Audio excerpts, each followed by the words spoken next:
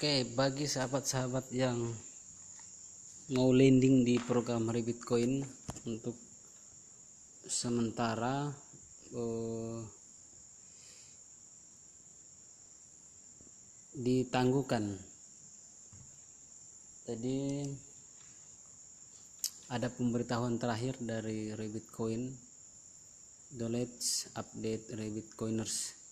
The lending system and the lending program will be suspended temporarily.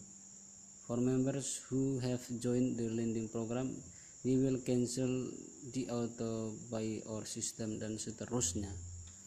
Di sistem peminjaman dan program peminjaman akan ditangguhkan sementara untuk anggota yang telah bergabung dan program peminjaman kami akan membatalkan otomatis oleh sistem kami kami akan mengembalikan dana pinjaman Anda dalam USDT sesuai dengan nilai kontrak Anda yang sedang berjalan. Anda dapat menarik kembali saldo yang telah masuk ke akun Anda dalam USDT pada 27 April 2020 pada pukul 00.01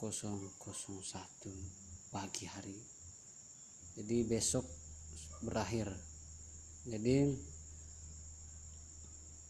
program ini mungkin ditangguhkan atau bahkan mungkin ditiadakan. Jadi teman-teman yang selama ini tanya-tanya mohon maaf ya mohon maaf sekali lagi supaya jangan uh, ikuti di Rabbitcoin ini. Jadi uh, saldo yang sudah didepositkan akan dikembalikan besok tanggal 27 April. Sekali lagi saya minta maaf mohon maaf. Dan saya sudah katakan di atas eh, video-video uh, sebelumnya saya katakan bahwa orang yang uh, trading di sini ya butuh keberanian dan penuh dengan risiko tinggi. Bisa saja hilang uh, kita punya uang. Dan seperti ini ya tidak jelas. Sekali lagi saya minta maaf. Dan saya tidak merekomendasikan untuk mengikuti ini. Dan tidak tahu ke depan seperti apa nih wallet Rabbit Coin ini. Saran saya supaya jangan ikuti itu menurut pribadi saya karena disuruh untuk mengembalikan e, mengambil menarik kembali deposit yang sudah pernah didepositkan.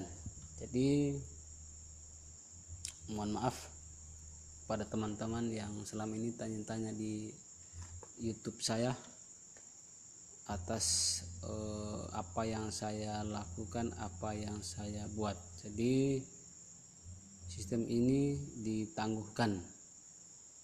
Mohon maaf bagi teman-teman dan kita sportif dalam e, mengambil sebuah langkah dalam bertrading atau dalam mengikuti program-program dalam bisnis online khususnya adalah cryptocurrency di Rabbitcoin ini. Jadi sekali lagi uh, jangan ikuti karena sudah ada pernyataan seperti ini dari websitenya. Ke depannya seperti apa kita juga tidak tahu. Sekali lagi mohon maaf